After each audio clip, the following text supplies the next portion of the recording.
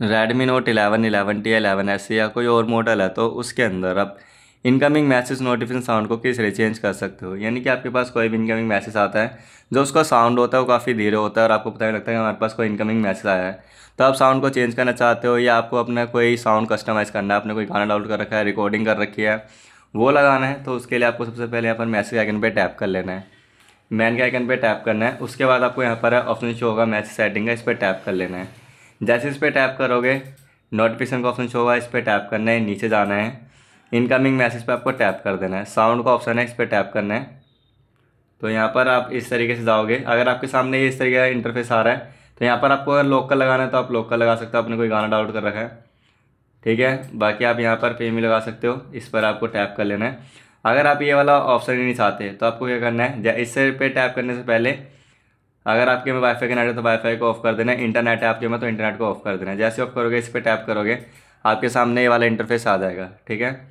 बाकी आपको इसके अंदर क्या करना है? डिफ़ॉल्ट हमारे ये है सेट है रिंगटोन ये हमारी डिफ़ॉल्ट वाली है।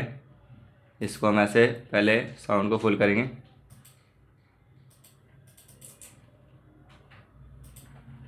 तो इस तरीके से आप इस पर ऐसे टैप करोगे तो आपका सेट हो जाएगा। बाकी आपको क्या करना है? इस तरीके से। तो आपको इनमें से कोई लगाना है तो आप लगा सकते हो।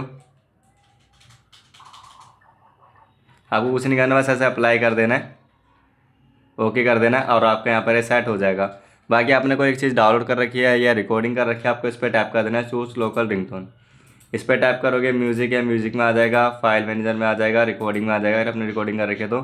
अगर आपको डाउनलोड करना है कुछ और वो लगाना है तो इस पर टाइप कर देना है। चूज़ ऑनलाइन रिंगटोन इस पर जैसे टैप करोगे, आपके सामने इस तरह का इंटरफेस आ जाएगा। आपको कैसा चाहिए?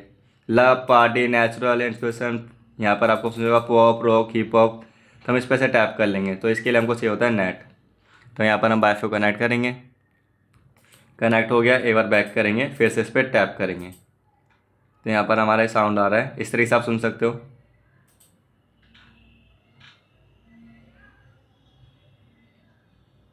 तो आपको बस ऐसे करके ओके कर देना ये आपका डाउनलोड होएगा, ठीक है? डाउनलोड होने के बाद आपका सेट हो जाएगा। तो इसी तरीके से अपने फ़ोन के अंदर इनकमिंग मैसेज नोटिफिकेशन साउंड को चेंज कर सकते हो। अगर वीडियो से तो वीडियो को लाइक शेयर सब्सक्राइब करें।